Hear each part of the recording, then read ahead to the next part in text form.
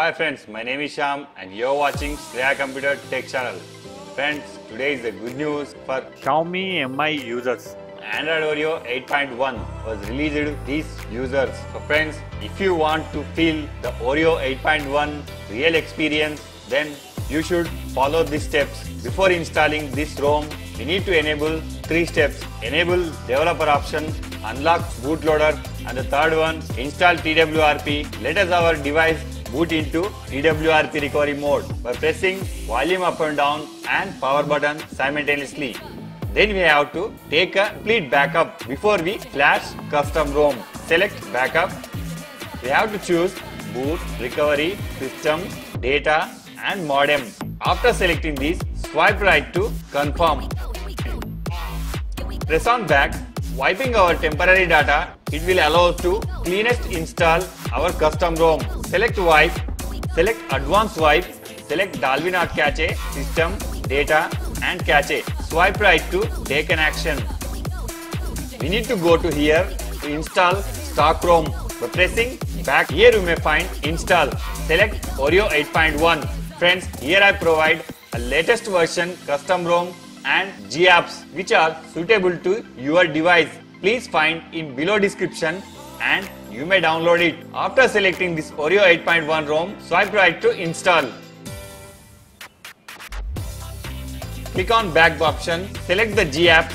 Friends, here I will choose the nano version of GApps. The versions of suitable for this ROM, Pico, Aroma, Stock and Micro. After selecting these, swipe right to install.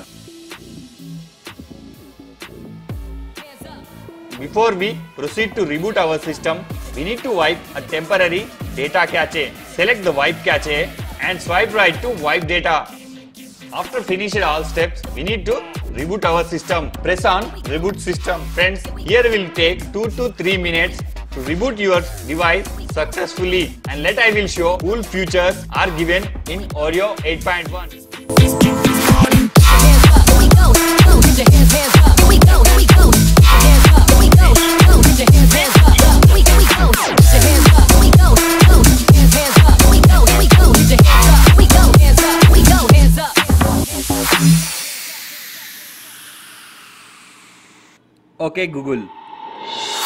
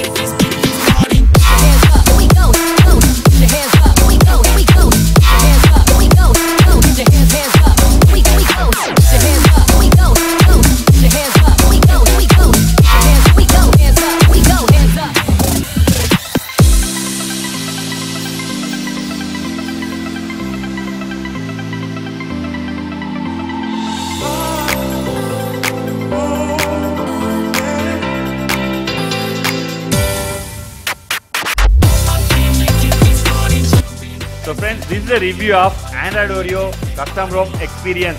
Hope you like this video. If you have any doubts, you can make in comment section. So thank you friends. Bye bye friends.